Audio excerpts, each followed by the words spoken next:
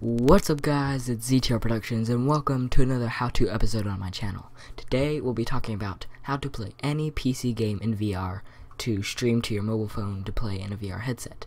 Today we'll be using an application called IntuGame VR. The link will be in the description below. So let's get started.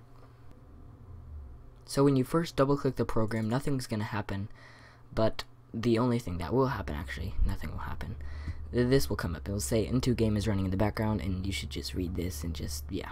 So you should pull up your app icon bar and right click it and click settings. Now you're in the settings, so you can do head tracking, which just does head tracking uh, automatically or original.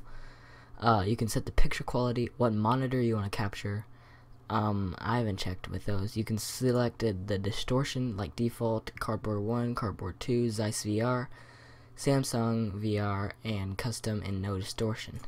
So, and then you can do promo code, but I don't know what that is.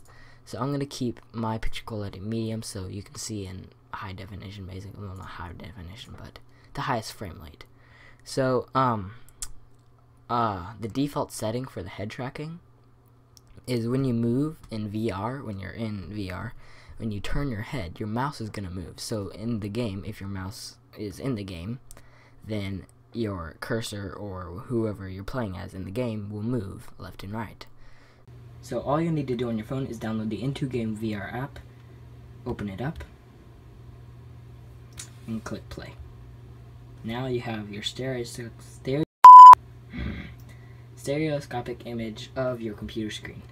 And if this works, this moves left and right, and this moves left and right. You get the point. So that is the end of this episode. Thank you so much for watching.